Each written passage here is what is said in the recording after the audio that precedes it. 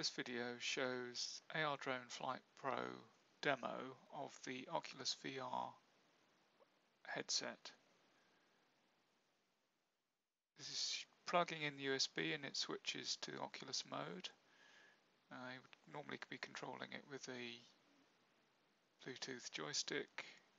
This demo has actually been done on a Motorola Xoom, so the only the only device I had with video out working at the moment but so the frame rate's a bit low on a Tegra 2 but give it a Tegra 4 or something similar and it'll be quite reasonable performance.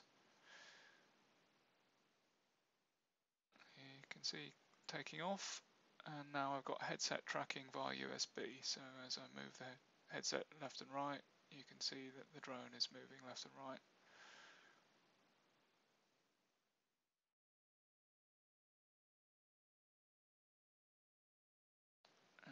now switch to show what the headset view looks like as best I can with the camera in the optics.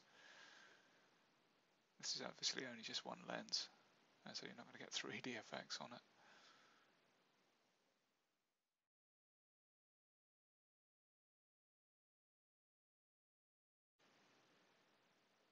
You get some idea. I mean, I've set it up so you can basically see the view and more information on my website as usual. Thanks for watching.